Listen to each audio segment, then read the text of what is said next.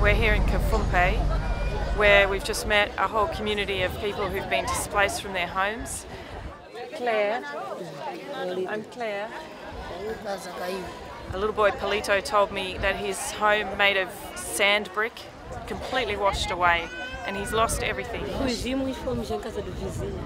He's too ashamed to go to school because he's lost his books. Their community are living in this building here. It's a concrete floor, and there's many women and children and many single parents.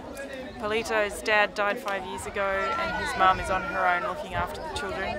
But with a young disabled child as well, she's unable to earn an income. So these people are hugely vulnerable.